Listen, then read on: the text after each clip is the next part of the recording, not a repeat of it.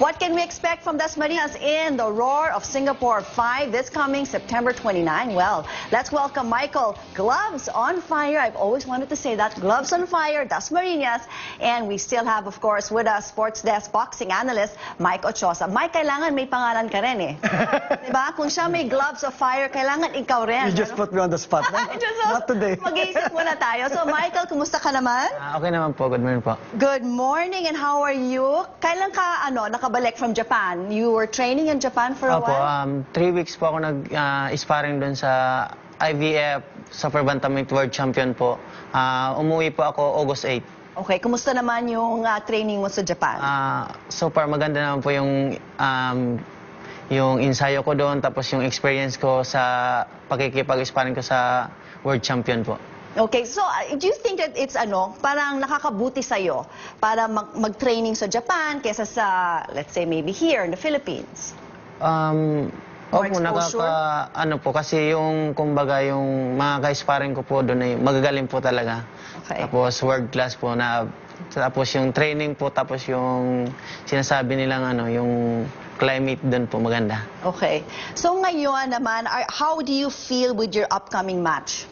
Ah, ayun Are po. you ah, nervous? You'll be fighting, Um, syempre, an undefeated boxer. Ah, ngayon po, napipil ko, ah, excited po ako ngayon na lumaban kasi ilang months na rin after nung lumaban pa ako last April na nakuha ko po yung title ko. Ah, ngayon excited ako kasi yung mga kalaban ko, yung undefeated, kaya parang ano po ako, yung excited ako na parang gigil ako ng manalo ulit Oo, ng parang knockout. gusto mo nga ngayon, ngayon na, mag, magkipag-boxing ka na, di ba? Opo, kasi yung kalaban ko ngayon, eh, magaling po kasi ah, sa 17 win po, ah, 15 yung nakio niya. Eh, pareho po kami, ah, kumbaga, heavy hitter po. And, and I think also they're quite similar. Both of them are undefeated. I, I mean, in so many, like, you know, Yeah, well, 10 he has- undefeated wins. Yeah, uh, continuously meron siyang Oo. streak, no? Oo. But, uh, he has two losses. But yung similarity nila, they both go for the knockout. Okay. Which uh, makes this fight very interesting. No? Although it's a non-title fight, Mm-hmm. uh, uh, the promoter, Ringstar, uh, you know, brought in a formidable opponent, even if it's not a, ano, even if it's not a title fight. So really, I think, uh, when talking to Mike, uh, his preparation is really at top, top How, level. how would you go? Um, okay, I have two mics on set, no? So isang Mike, isang Michael, or gloves na lang, Mr. Gloves. How would you, ano ba yung mga strategies mo para um, to go against Manyo? Ah, yung strategy po namin, um, kasi nakikita ko po yung mga laro nung makakalaban nyo ngayon, um, siguro, ano ko po yung distance ko sa kanya. Tapos, siyempre, yung, kasi makamay din yung makakalaban ko po ngayon, kaya, yung iniisip ko pa, side-to-side movement po. Kasi, ano po kami, South po, Orthodox po kami. Kaya, yun po. Okay, what, do, Mike, do you see any advantages or, or what, what do you think Well, about yeah, this uh, upcoming see, fight? that- What, what Mike says, I agree, no? Kung gagawin nila yan against Manyo, against Manyo. I've seen also the tapes. Ma, pag sinabi niya makamay, masipag.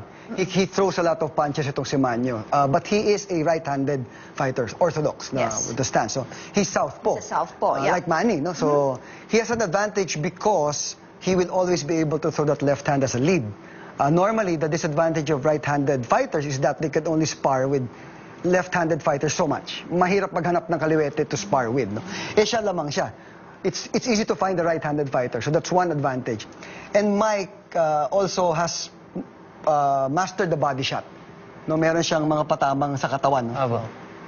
Well, I mean, just clearly in his last match with Yeah. the knockout, diba? In the in the fourth round only. So, parang it's interesting this match also. Before I allow you to invite our our televiewers to watch the upcoming fight, um, parang si si Michael Dasmariñas papunta pa lang or kararating lang. Tapos yung kalaban mo naman, parang he's trying so hard to stay to stay alive because a lot of people were saying that parang tapos na siya.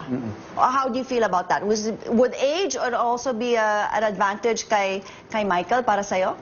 Um, para sa akin, yung ano, kasi yung age naman po, um, It's just a number. parang ganon, number, pero importante po talaga sa boxing is mag-training ka po talaga na maayos. So, okay, so that will always be the underlying. Okay, Right. so messages please to our Filipino, para sa mga fans mo, Mike, let's go! Ah, unang-una po sa lahat, gusto ko lang pong pasalamatan yung Ringstar sa dahil naniwala sila sa akin at sa promoter ko po kay Sir Scott Parel.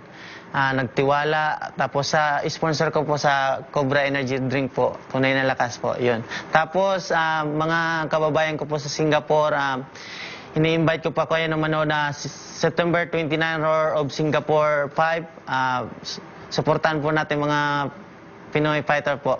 It will be at the Marina Bay Sands. So yung mga nasa Singapore na mga mga kababayan, they can come. And it will be aired here. Yes. Actually, if I can mention the channel, okay lang?